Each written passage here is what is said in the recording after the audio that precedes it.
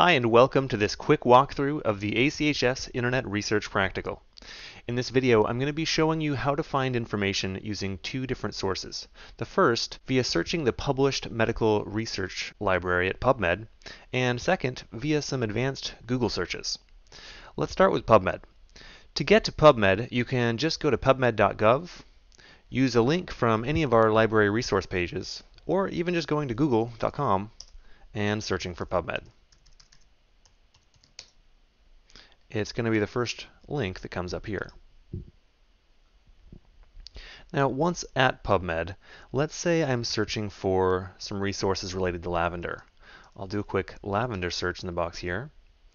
And you can see that comes back with about 1800 results. Now, not all of those results are free full text articles. So one of the first tricks I want to show you is to look over here on the left navigation under text availability and click on free full text. Once I do that, you can see that my results drop down quite a bit. But these results are going to be a little more useful in that you have access to the entire article and not just the abstract. However, there may be a point at which you can't find the full text available for an article you need. Don't worry, you can still use the abstract by itself. Okay, so let's take a look at one of these articles. Now I'm going to browse the headlines and see if I can find something that looks particularly interesting to me. Now make sure they're relevant as well. For instance, if I look at this first result here, I don't think this actually has to do with lavender. I think it just happens to have an author with the name lavender. So I'll be disregarding that one. This looks interesting, however. Now notice that the article that I'm looking at now is still not the full text article. Now to do that, I can click this link here, or I can use this link over here. And now I should be looking at the entire article. You're going to want to read the introduction and conclusion paragraphs first.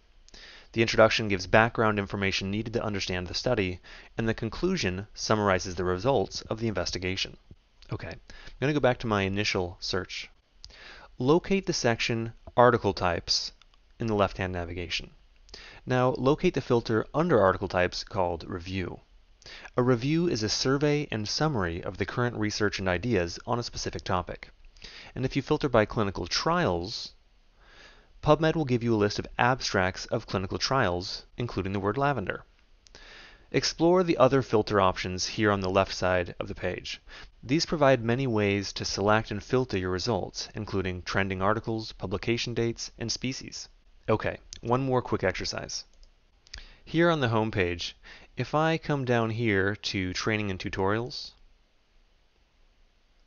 and tutorials here, I'm going to search for something called MeSH.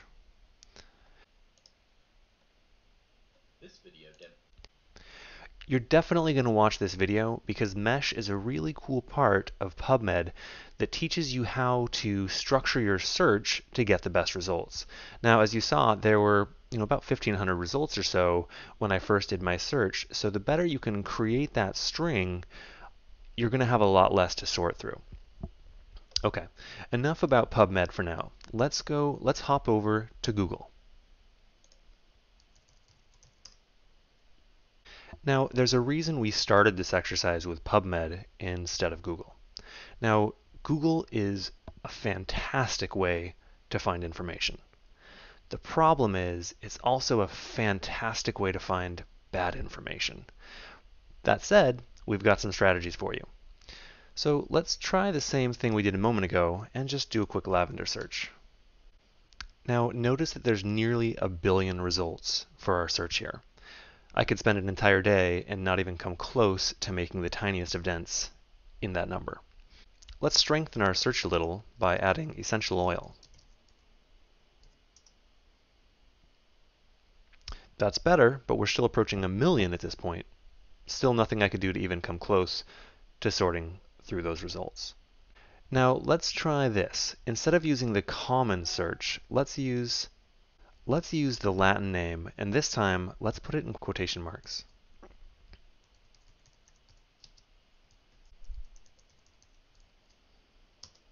That's still a lot of results, but notice that it did come down a little bit.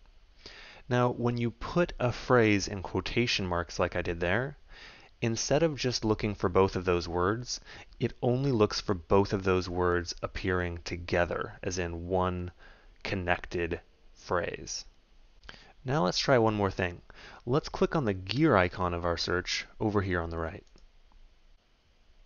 Now let's try something else. Click on the gear icon to the right over here and choose Advanced Search. Notice that under Find Pages With, your search phrase appears in the box that says this exact word or phrase. Below this section, under Then Narrow Your Results By, there is an option that says File Type. Change this to Adobe Acrobat PDF. And then click the blue Advanced Search button. Now your search will retrieve fewer, more targeted articles. Some of these pages may be from commercial sites, but many of them are from universities or other reliable sources. Let's go back to the advanced search page using the back arrow. Now we're going to look for the empty box under site or domain. This box allows you to select websites from particular domains like .com, .net, or .edu. Sites that end in .edu are usually from universities and will tend to include more reliable information. So in this box, I'm going to go ahead and type .edu. And now, click Advanced Search. Now, keep in mind, I still have this PDF filter here. I could take that off, but I'm going to go ahead and leave it. Now, notice that I've only got about a thousand results now, so we've done a pretty good job of narrowing this down. And if I look up here in my search box, you can see how Google has formatted the different characteristics of the search as I've constructed it. Now, I can just continue adding directly to this box right here. So let's say I'm going to add essential oil back in.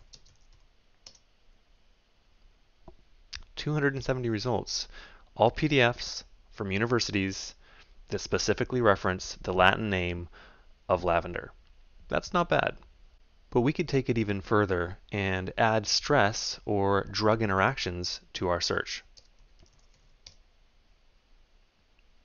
Not bad. Instead of stress, let's add drug interactions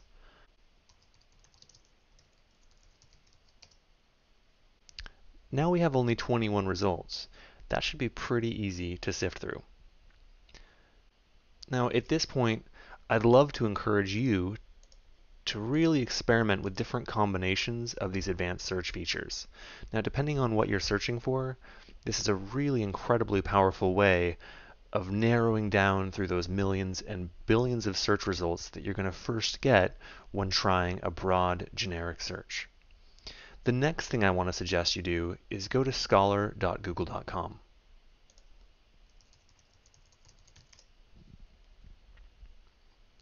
Type your search terms in the search box that appears, and Google will find a list of academic articles and abstracts.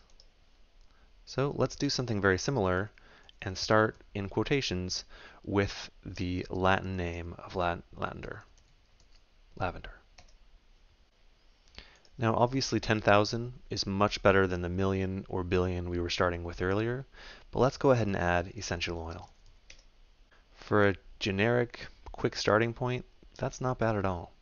Now one last quick tip that should be just a little more fun.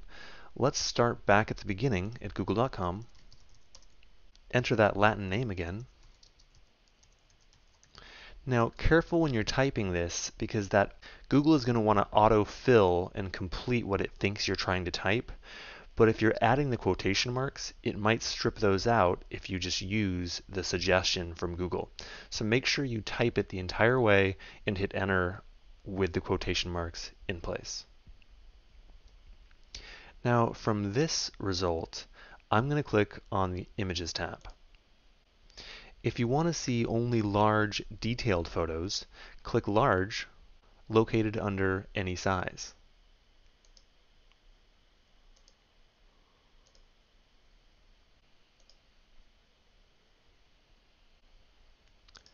Now, as you're learning about herbs and you really want to get a close-up, detailed view of what they look like in real life, this is a real fun way to to kind of explore and learn.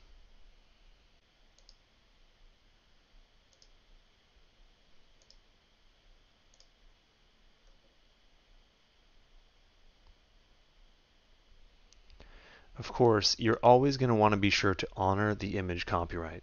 So if the image is not copyright free, you cannot reproduce it in any way. When you locate an image you are allowed to use, always be sure to include a full reference. Thanks for watching.